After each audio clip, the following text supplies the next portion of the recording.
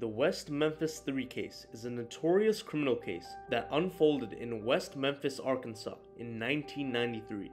The case involved the brutal murders of three young boys. Their bodies were discovered the following day in a drainage ditch in Robin Hood Hills. The victims had been brutally beaten, bound, and mutilated. Damien Echols was seen as the ringleader.